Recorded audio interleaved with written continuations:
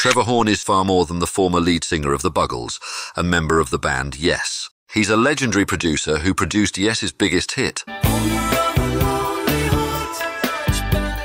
As well as Grace Jones's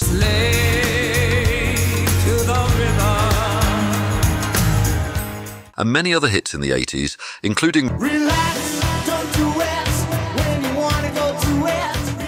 which is part of my vinyl collection. In the 90s, he'd most famously produced Seal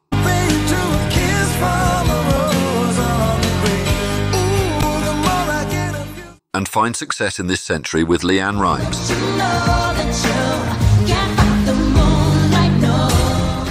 As well as Tatu.